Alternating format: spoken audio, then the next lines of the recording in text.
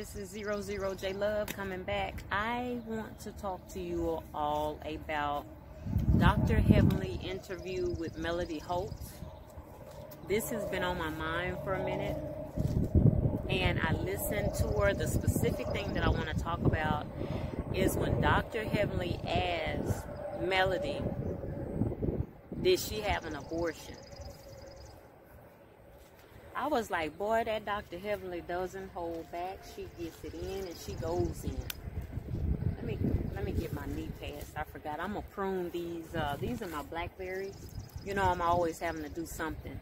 And since you look, my hair is probably looking crazy. Last night I washed my hair, and after when I, whenever I wash my hair and shampoo and and condition it, then what I do and rinse all that out really good is I put oil, no particular kind of oil. I put oil in my hair and then I do a light rinse with the oil to run through my hair, just a light rinse to re retain a lot, just make sure it goes everywhere.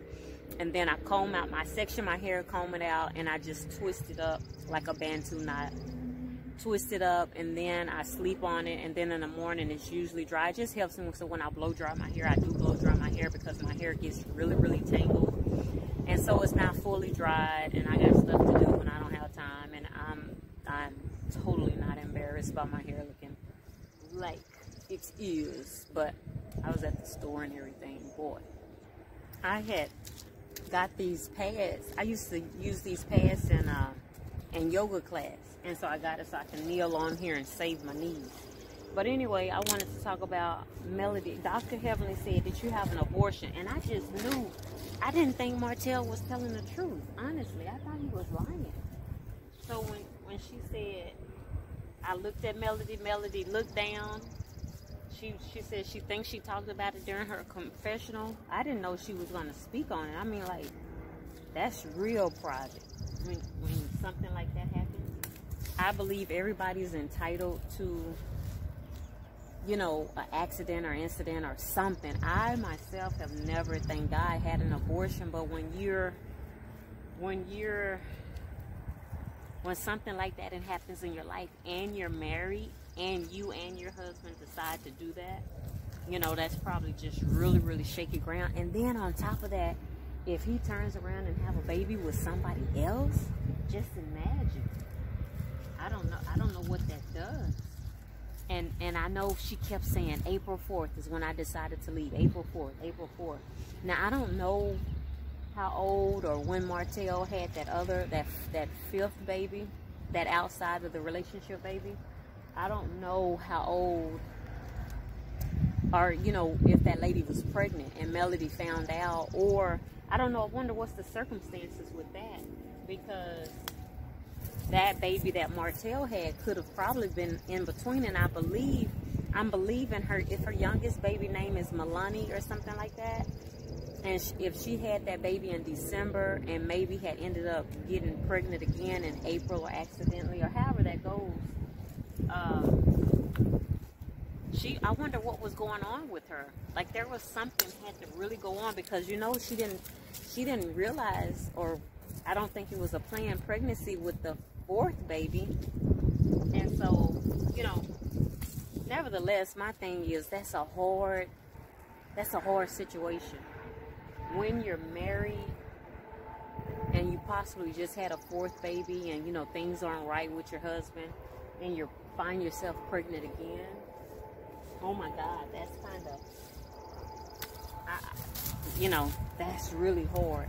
I, I am in the belief of I can't say that that's a bad thing or not because that's your life. You have to do what's gonna fulfill you. You just, you know, for me, it's like, you know, just don't let it happen again or be prepared or do what you need to do to be successful so that you can protect yourself. I think that's most important, protecting yourself so that nothing happens. But I would like to know what some of you, you all's thoughts are in a situation like that like, you know, even if you know you're going to leave the marriage, would you still have an abortion? Or is that something that, you know, you think that you would absolutely not do? Because you don't, you don't really know what you'll do until you find yourself in that situation. You can say what you, what you, what coulda, shoulda, all day long, but until you find yourself in that situation, you never know what you do. I guess I need something sharper. I didn't know it was so many things that died. Some of these branches are really thick.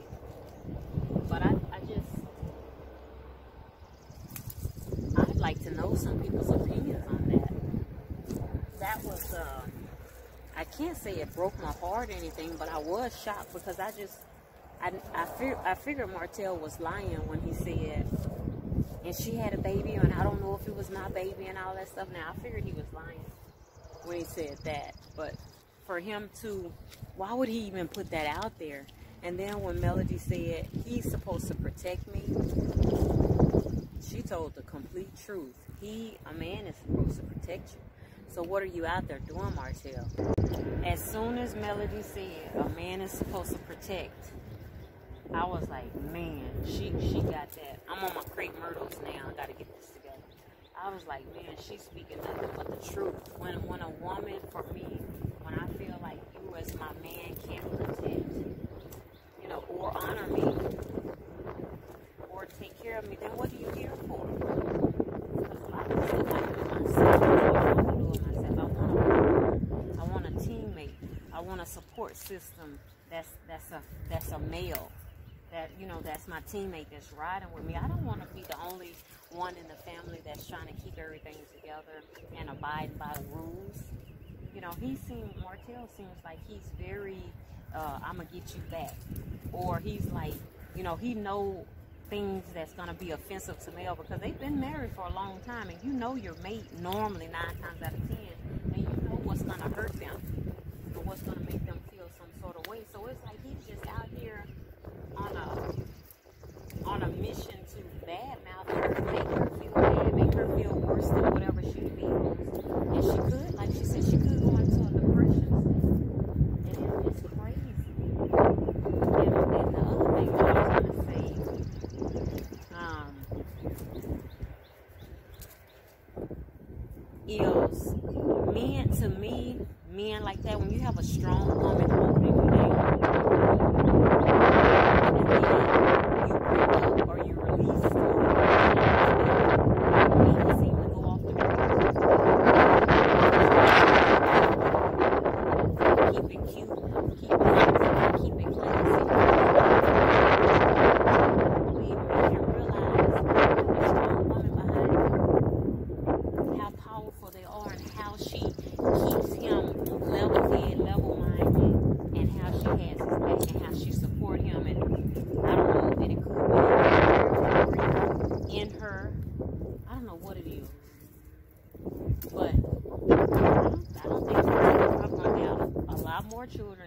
should have been in there getting a vasectomy. If he doesn't get a vasectomy, he's gonna have some more accidents.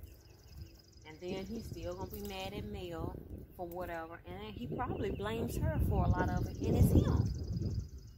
Well, even listening to him when he said she couldn't give, she didn't give me what I needed, and I needed this and I needed that. Mm-mm. I just, I just don't know.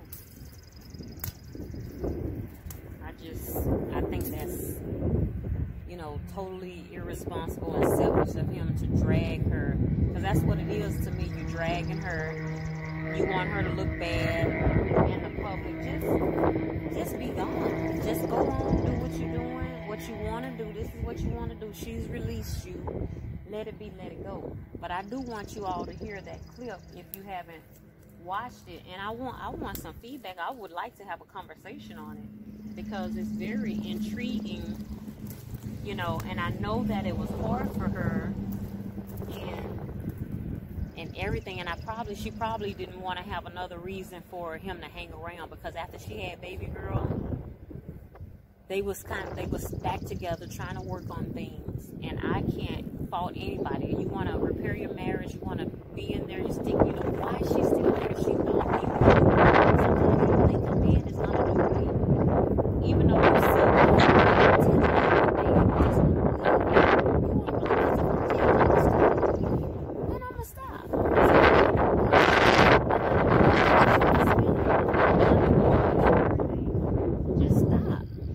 y'all to hear that. Give me some feedback on because I want to know just what do you think if you were in that position? Would you have an abortion? Would you keep the baby?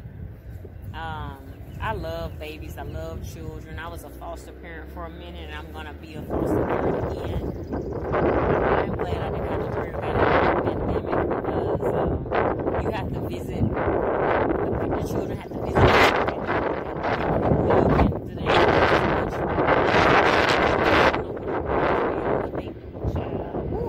Then you got all those doctor's appointments in and out of the hospital, the dentist office, and this and that. So, but that's not what it, the point is. Um, I love children, and I would like to think that I wouldn't, but you just never know. You never know. You can never say never, never, never. You just never know until it's knocking at your back door. What would you do? All right, I'm gonna finish my crepe myrtle uh, cutting.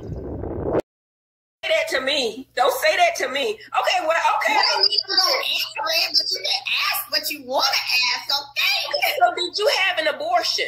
Why was he saying you had abortion? That's why he felt like you were cheating because you got four kids, right?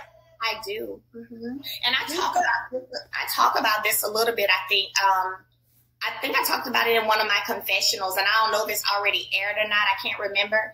Um, but one abortion that we both decided upon, and um, yeah, that there was nothing. No, ooh, it was because of something else. I can't believe he even put that narrative out there. To be honest with you.